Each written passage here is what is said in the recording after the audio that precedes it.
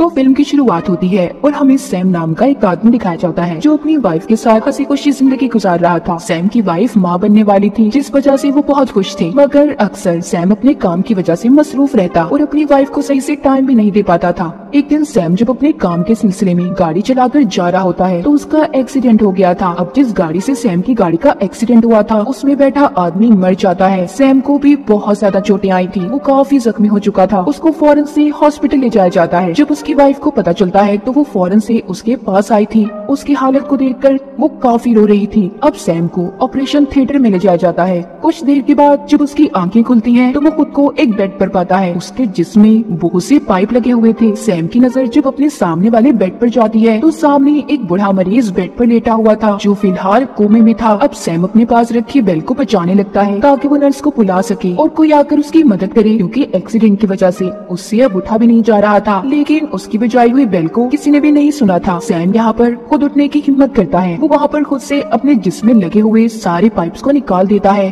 और यहाँ से जाने का फैसला करता है। जब वो जाने लगता है तो उसकी नज़र अपने सामने वाले बेड पर दोबारा पड़ती है, जहाँ पर पहले मरीज़ लेटा हुआ था, मगर अब उस बेड पर कोई भी नहीं था। ये सब देखकर सैम को समझ नहीं आता कि उसके साथ आखिर हो क्या रहा है। तभी अचानक से वो बूढ़ा आदमी आकर सैम पर हमला कर देता है। उसने सैम के गले को पकड़ लिया था और ज़ोर से दबाने वाला था। सैम को कमरे से बाहर ले आया था। इस लड़ाई के दरमियान सैम नीचे गिर जाता है, जिस वजह से पास से रखे हुए कुछ औज़ार भी नीचे गिर गए थे। अभी उनमें से एक चाकू को उठाकर उस बूढ़े आदमी के गले में मार देता है। उसके गर्दन में चाकू लगने की वजह से वो मर चुका था। फिर ये हॉस्पिटल में मदद के लिए चिल्लाता है कि कोई है, मेरी मदद करे। मगर यहाँ पर तो कोई भी नहीं था। अब जब वो दोबारा पीछे मुड़कर देखता है तो वहाँ पर बूढ़े आदमी की लाश गायब थी, जिसको सैम ने मार दिया था। वो कमरे में देखता है तो बूढ़ा आदमी दोबारा से अपने बेड पर लेटा हुआ था और कोमा में था। सैम को कुछ समझ नहीं आ रहा था। कि आखिर ये सब क्या है? इसीलिए अब वो यहाँ से जाने का फैसला करता है। वो जब अपने फ़ोन को देखता है तो उसमें भी सिग्नल्स नहीं आ रही थी। जब ये बाहर जाता है तो इसे एक नर्स मिलती है, जो दिखने में थोड़ी अजीब थी। सैम उसको उस बूढ़े आदमी मरीज़ के बारे में बताता है, जिसने इस पर हमला किया था। जब वो उसे अंदर लाकर बूढ़े आदमी को दिखाता है तो वो इस बार फिर से अपने बेड से गायब था और दोबारा से जब सैम नर्स की तरफ़ देखता है तो वो भी गायब हो चुकी थी। उसे कुछ समझ नहीं आता कि आखिर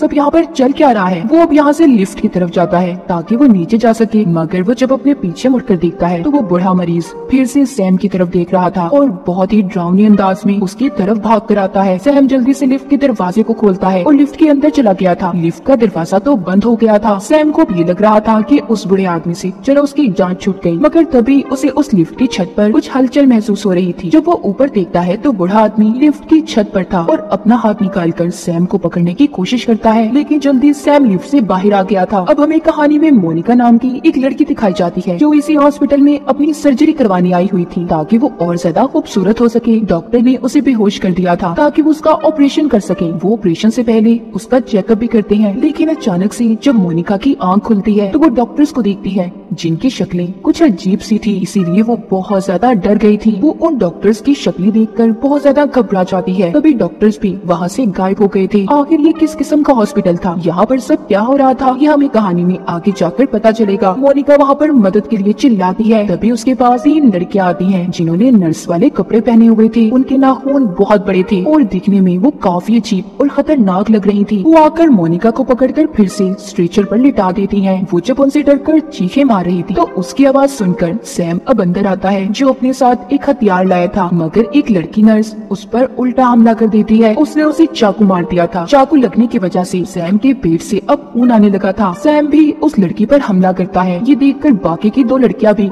सैम को मारने के लिए आगे बढ़ रही थी, लेकिन उसने बड़े ही बहादुरी से उनका मुकाबला किया और मोनिका से कहता है कि जल्दी से उठो। वो किसी तरह उन तीनों लड़कियों को वहीं पर ऑपरेशन थिएटर में बंद करके मोनिका को लेकर निकल जाता है। मोनिका उससे पूछती है कि आखिर ये सब क्या हो रहा है? सैम कहता है, मैं खुद भी नहीं जानता इस बारे में। मुझे बस इतना याद है कि मेरा ऑपरेशन हो रहा था और जब मेरी आँखें खुली तो मैं वेंटिलेशन पर था। मुझे भी कुछ याद नहीं है कि मेरे साथ आखिर हुआ क्या था। सब बातें सुनकर मोनिका भी कहती है, मेरा भी ऑपरेशन चल रहा था। और जब मेरी आँख खुली तो मैंने खुद को इस अजीब जगह पर पाया। खैर बाहर निकलकर सैम अब अपनी वाइफ को कॉल करने की कोशिश करता है। मगर रिसेप्शन का फ़ोन भी खराब था। तभी उसकी नज़र वहाँ पर पड़े नक्शे पर पड़ती है, जो इस हॉस्पिटल का था, जिसमें नीचे बेसमेंट बनी हुई थी और ऊपर की तरफ़ छत। अभी ने ये फैसला करना था कि आखिर ये अपनी जान बचाकर कहाँ जा सकते हैं। जब ये दोनों इस जगह से जाने लगते हैं तो इन्हें चीखों की आवाज़ें सुनाई दी थी। जब ये कमरे के अंदर जाकर देखते हैं तो एक लड़का, जिसको हथकड़ियों से बांधा हुआ था, वो लेटा हुआ चिल्ला रहा था। मोनिका सैम से कहती है, मुझे लगता है ये कोई मुजरिम है, इसलिए हमें इसकी मदद नहीं करनी चाहिए। देखो इसके हाथों पर हथकड़ी है। मगर सैम कहता है, नहीं, मुझे लगता है कि यहाँ पर हम सिर्फ़ तीनों ही मौजूद हैं। हमें इसकी मदद करनी चाहिए। वो उस लड़के को खोल देता है। वो लड़का भी नहीं बताता है कि मैं चोर नहीं हूँ। मुझे चोर समझकर पुलिस वाले ने गोली चला दी और मेरा इलाज चल रहा था हॉस्पिटल में। मगर जब मुझे होश आया तो मैंने खुद को इस हालत में देखा। अब ये तीनों मिलकर जब यहाँ से बाहर जाते हैं तो सामने इन्हें फिर से वही तीनों लड़कियाँ खड़ी दिखाई देती हैं, जिनके हाथ में अब चाकू थे और वो इनकी तरफ़ ही बढ़ रही थी। सैम मोनिका और उस लड़के से सीढ़ियों की तरफ़ जाने का कहता है और खुद उसने वहाँ के दरवाजे को बंद कर लिया था। वो कहता है कि तुम नीचे उतरो, मैं पीछे आ रहा हूँ। अब जब वो खुद नीचे उतरने लगता है तो वो दोनों को देखता है।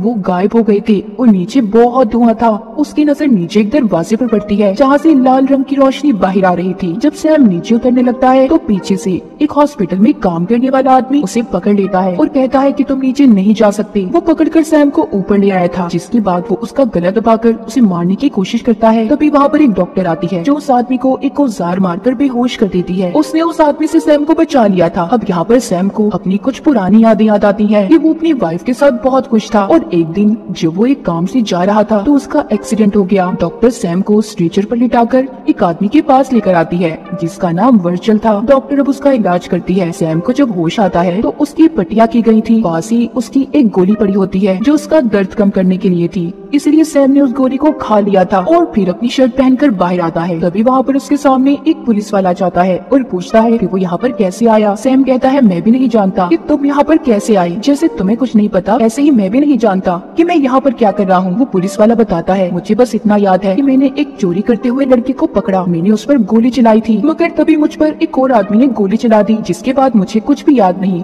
तभी यहाँ पर सैम खिड़की से बाहर देखता है। तो बाहर बहुत अंधेरा था। सैम को ये बात समझ नहीं आती। कि आखिर बाहर इतना अंधेरा क्यों है कि कुछ भी नज़र नहीं आ रहा। अब जब वो पीछे मुड़कर देखता है तो पुलिस वाला गायब हो चुका था। जब वो थोड़ा सा आगे आता है तो उसे फिर वही आदमी वर्चुअल मिलता है, जिससे सैम पूछता है की मैं यहाँ पर कैसे आया हूँ। वो कहता है, मुझे बताओ, तुम भी असली हो या नकली? वर्चुअल कहता है की मैं असल हूँ, और ये हॉस्पिटल भी असल है। मेरा इलाज भी उसी डॉक्टर ने किया था। जिसने तुम्हें बचाया है। सैम बताता है कि वो डॉक्टर मुझे नीचे की तरफ़ लेकर जा रही है। वहाँ पर बहुत अंधेरा है। वर्चुअल कहता है कि मैं नहीं जानता ये सब क्या हो रहा है। पर हाँ ये हॉस्पिटल असली है। शायद ये बिल्डिंग बहुत पुरानी है। तो इस वजह से इधर ये सब कुछ हो रहा है। पर मैंने इधर ऊपर वाले हिस्से में छत को देखा है, जहाँ पर बहुत रोशनी है। तुम्हें वहाँ जाना चाहिए। तभी वहाँ पर फिर से डॉक्टर आ जाती है। सैम जाते हुए उसे बताता है की यहाँ पर एक पुलिस ऑफिसर घूम रहा है, जिसके पास गन है। वो यहाँ ऐसी निकलने के लिए किसी को भी मार सकता है। तभी वो अपने सामने तीनों लड़कियों को दोबारा देखते हैं। ये उन्हें देखकर फ़ौरन से भाग गए थे। सैम कहता है, जल्दी, हमें लिफ्ट तक जाना होगा। जब ये थोड़ा सा आगे जाते हैं तो आगे वही हॉस्पिटल में काम करने वाला आदमी, जिसने सैम पर पहले हमला किया था और नीचे जाने से रोक रहा था, वो वहाँ पर घूम रहा होता है। सैम कहता है कि मैं इसका ध्यान भटकाने की कोशिश करता हूँ। जब ये उसके पास जाता है तो वो आदमी सैम से फिर यही कह रहा था कि उसे नीचे नहीं जाना। तभी सैम की नज़र वहाँ पर एक छोटी बच्ची पर पड़ती है, जिसके मुँह पर पट्टियाँ बंधी हुई थी। पर वो लड़की अचानक से गायब हो जाती है और फिर से वो सैम के सामने आ गई थी। इस बार उसके चेहरे पर कोई पट्टी नहीं थी। सैम देखता है, उसका चेहरा काफ़ी जख्मी था, जिस वजह से डरकर वो नीचे गिर जाता है। डॉक्टर भी अब सैम के पास जल्दी से आती है, ताकि वो उसे बचा सके। तभी उसके पास वही आदमी फिर से आता है, जो यही कह रहा था कि नीचे नहीं जाना।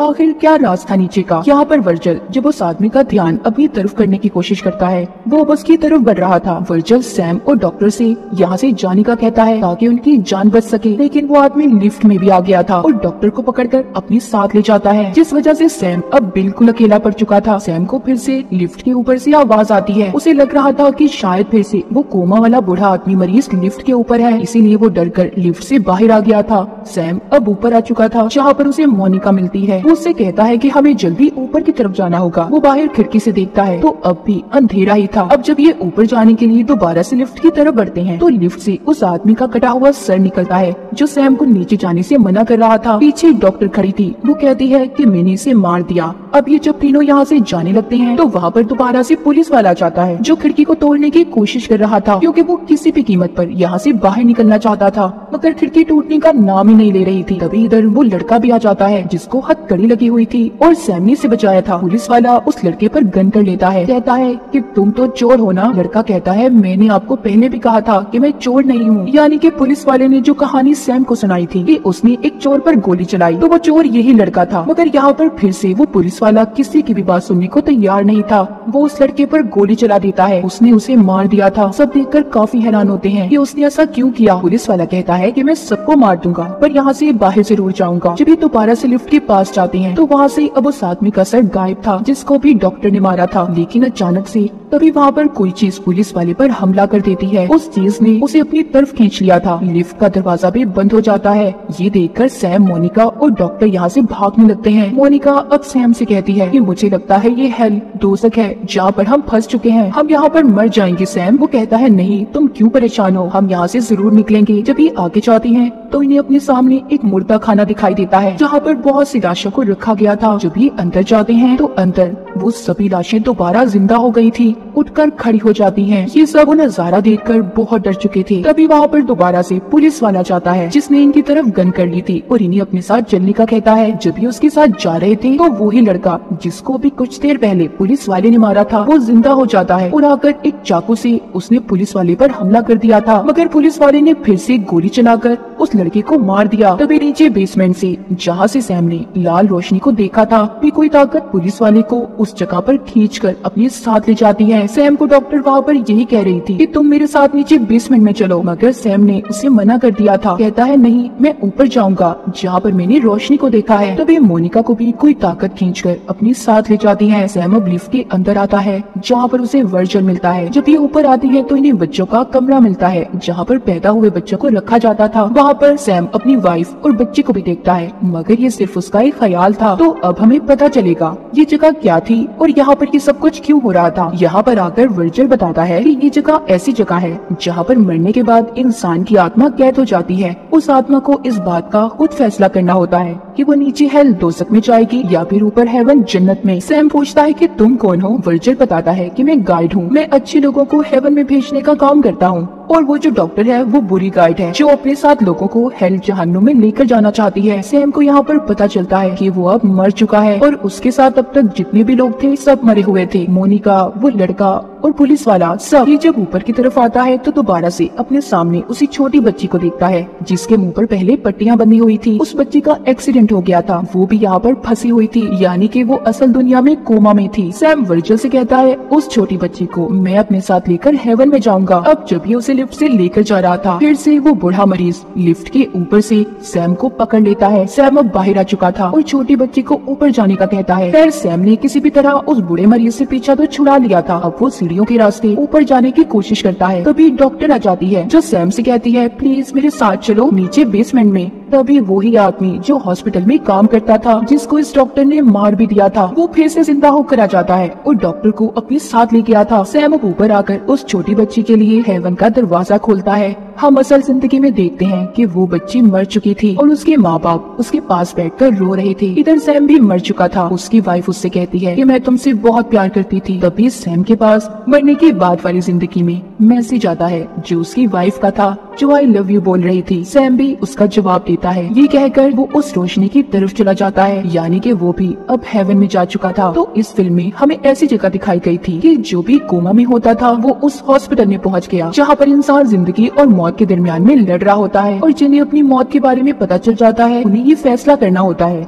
कि उसे हेल दोजक में जाना है या हेवन जन्नत में। और वहाँ पर कुछ लोग और गाइड्स भी थे, जो इन्हें फोर्स करते हैं। कि उन्हें हेल में जाना है या जन्नत में। जैसे कि वर्जल एक अच्छा आदमी था, एक अच्छा गाइड वो आत्माओं को हेवन में भेजना चाहता था। और जो डॉक्टर थी, वो हेल में ले जाती थी। वो बुरी थी, वहाँ पर जो तीन लड़कियाँ थी, उनका काम उन आत्माओं को दर्द देना था, जिन्होंने ज़िंदगी में कुछ भी गलत काम किया हो। और वो आदमी जो बार बार सैम को ये कहता था कि नीचे मत जाना, वो भी आत्माओं को सही रास्ता दिखाने का काम किया करता था। तो ये कहानी कुछ अलग तरह की थी। और इसी के साथ इस फ़िल्म की कहानी यहीं पर खत्म हो जाती है।